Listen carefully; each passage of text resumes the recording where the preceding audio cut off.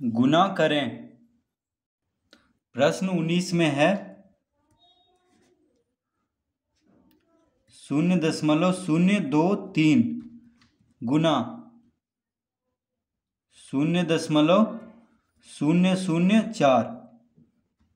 तो देखिए, पहले तेईस चौक कितना होगा? तेईस गुना चार करेंगे तो चार दिया बारह। हाथ में रहा एक, चार दूनी आठ, एक नौ, यानी तेईस चौक होता है बानवे, ठीक है, तेईस चौक बानवे। अब देखिए, दशमलव के बाद तीन अंक है यहाँ पे, दशमलव के बाद एक, दो, तीन तीन अंक है। यहाँ पे भी एक, दो, तीन तीन अंक है तो तीन तीन अंक कितना हो गया? तीन अंक तीन अंक हो गया छः अंक, यानी दशमलव के बाद यहाँ पे छः अंक होना चाहिए। तो दो अंक है तो हम चार शून्य और दे देंगे, तब छः अंक हो जाएगा, एक, दो, तीन चार, ठीक है? अब देखिए, दशमलव हम यहाँ पे बैठाएँगे और दशमलव के पहले हम क्या देते हैं? शून्य। तो इसका इसका उत्तर हो जाएगा शून्य दशमलव शून्य शून्य शून्य शून्य नौ दो। यानी दशमलव के बाद छः अंक होना चाहिए। देखिए, तीन अंक तीन अंक मिलके छः अंक, ठीक है? अब प्रश्न बीस। प्रश्न बीस में है एक दशमलव शून्य शून्य पाँच गुना दो दशमलव शून्य शून्य तीन। तो इसको हम रफ में गुना कर लेते हैं। तो देखिए, एक दशमलव शून्य शून्य पाँच गुना दो दशमलव शून्य शून्य तीन है, यानी एक हज़ार पाँच से दो हज़ार तीन को गुना करना है, ठीक है? तो देखिए, पाँतिया पंद्रह शून्य तीन, शून्य से यहाँ पे देखिए, शून्य से गुना होगा सब तो शून्य हो जाएगा। यहाँ पे भी शून्य शून्य शून्य शून्य। अब देखिए, दो से गुना करेंगे तो पाँच दूनी, दस। ठीक है? फिर शून्य, दो गुना एक, दो। इसको जोड़ देंगे तो पाँच, एक, शून्य, तीन, एक, शून्य, दो। कितना आ गया? इसको हम लिख देते हैं। दो, शून्य, एक तीन शून्य एक पाँच। देखिए, इतना आया था। अब देखिए, दशमलव के बाद तीन अंक है, दशमलव के बाद तीन अंक है, यानी छः अंक होना चाहिए यहाँ पे। तो दाई ओर से छः अंक पहले, एक, दो, तीन, चार, पाँच छः देखिए, एक, दो, तीन, चार, पाँच छः यानी यहाँ दशमलव देना होगा। ठीक है, दो दशमलव शून्य एक, तीन शून्य एक पाँच, इसका उत्तर होगा। प्रश्न इक्कीस। इक्कीस में है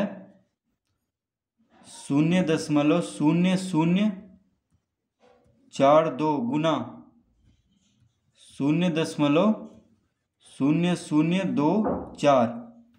ठीक है? तो इसको हम गुना कर लेते हैं। तो देखिए, इसको गुना करने पे कितना आएगा? हम तो इसको गुना करेंगे बयालीस गुने चौबीस, यानी चौबीस दूनी कितना होता है? अड़तालीस।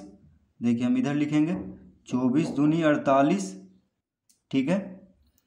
हाथ में रहा चार। चौबीस चौक चौबीस चौक होता है छियानवे छियानवे चार हो गया सौ। तो यहाँ पे हम सौ लिख देंगे।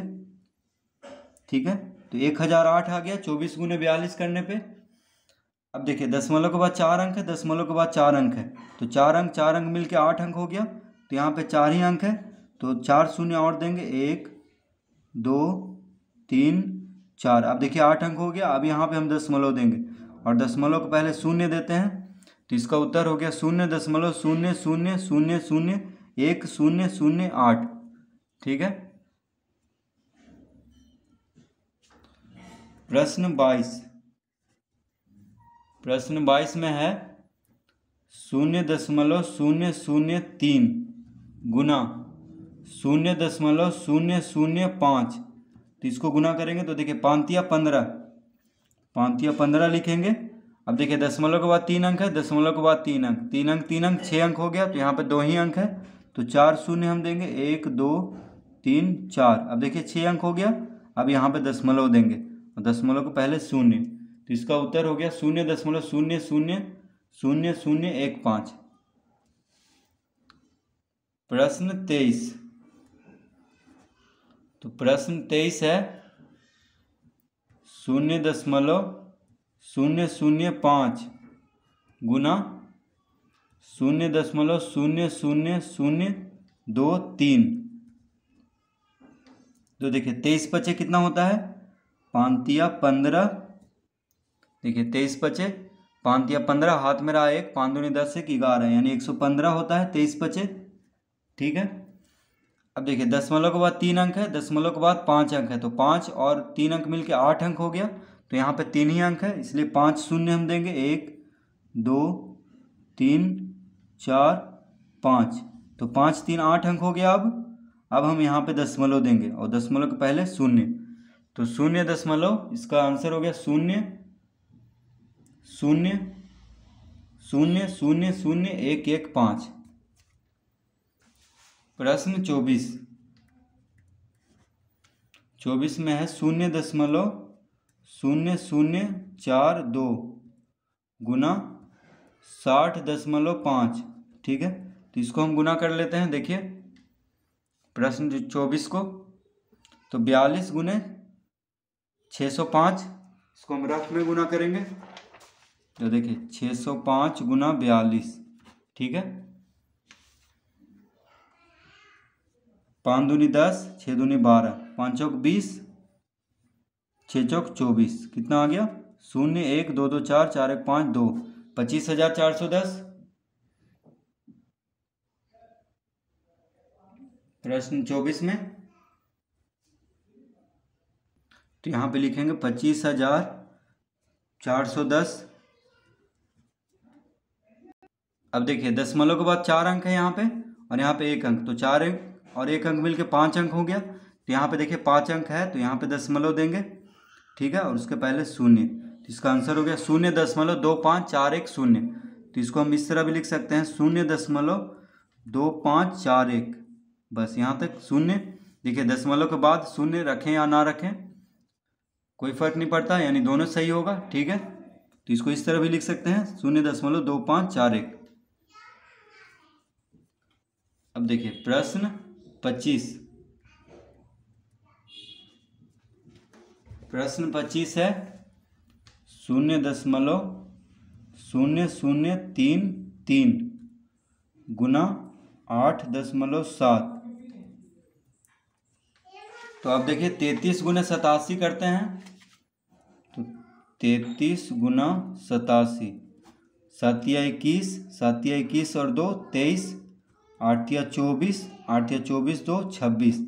एक, चार, तीन, सात छः दो, आठ दो, कितना आ गया? दो आठ, दो हज़ार आठ सौ इकहत्तर। हम यहाँ पे लिखेंगे, दो हज़ार आठ सौ इकहत्तर। अब देखिए, दशमलव के बाद चार अंक, दशमलव के बाद एक अंक। तो पाँच अंक हो गया दोनों मिलके तो पाँच अंक इसको हम बना देंगे, एक शून्य लगा करके। अब यहाँ पे दशमलव देंगे और दशमलव के पहले शून्य। तो शून्य दशमलव शून्य दशमलव शून्य दो, आठ सात एक, इसका उत्तर होगा। देखिए, प्रश्न छब्बीस। तो प्रश्न छब्बीस में है छः दशमलव आठ नौ छः दशमलव आठ नौ गुना पंद्रह दशमलव सात पाँच। तो इसको हम रफ में गुना करेंगे। तो देखिए, पंद्रह, एक हज़ार पाँच सौ पचहत्तर गुना छः सौ नवासी, ठीक है? नौ पचे पैंतालीस, नौ सौ तिरसठ चार सड़सठ, नौ पचे पैंतालीस छः इक्यावन नौ पाँच, चौदह। देखिए, नौ पचे पैंतालीस, हाथ में रहा चार, नौ सौ तिरसठ, चार सड़सठ, हाथ में रहा छः नौ पचे पैंतालीस छः इक्यावन, हाथ में रहा पाँच, नौ गुने एक नौ नौ पाँच चौदह। अब देखिए, आठ पचे चालीस, हाथ में रहा चार, आठ सत्य छप्पन, चार साठ, हाथ में रहा छः आठ पचे चालीस छः छियालीस, हाथ में रहा चार, आठ चार बारह।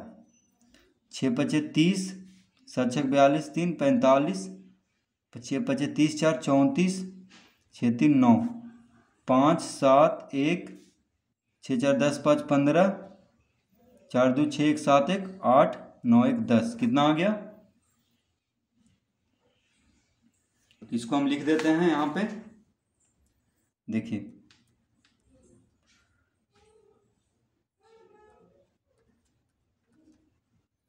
तो दशमलव के बाद दो अंक है, दशमलव के बाद दो अंक। दो अंक दो अंक मिलके, यानी चार अंक के पहले, दाई ओर से तो यहाँ पे दशमलव दे देंगे तो इसका उत्तर हो गया एक सौ आठ दशमलव पाँच एक सात पाँच। ठीक है? तो इस तरह से हम छब्बीस तक हल कर लेंगे। प्रश्न छब्बीस तक, इस तरह से हम इसको हल कर लेंगे। देखिए